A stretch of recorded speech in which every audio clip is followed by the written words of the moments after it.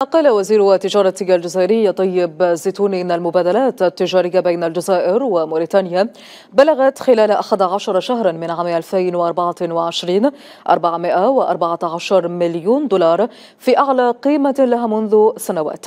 زيتوني وخلال إشرافه على انعقاد منتدى الأعمال الجزائري الموريتاني بتندوف أكد أن المبادلات التجارية بين البلدين سجلت ارتفاعا بنسبة 82.8% مقارنة بعام 2022 مشيرا إلى أن الجزائر تولي أهمية لإقامة المعارض التجارية والاقتصادية ومنتديات رجال الأعمال بهدف إبراز الإمكانيات الإنتاجية.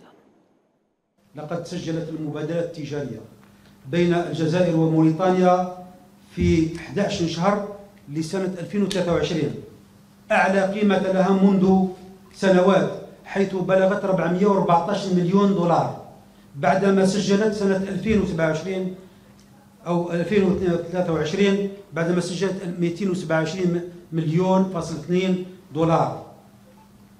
وذلك بارتفاع قدره ب 82% سعيا منا لمضاعفة المجهودات المبذولة لتطوير التجارة البينية بين الجزائر وموريتانيا فإننا نولي أهمية كبيرة لتنظيم المعارض التجارية والاقتصادية ومنتديات رجال الأعمال.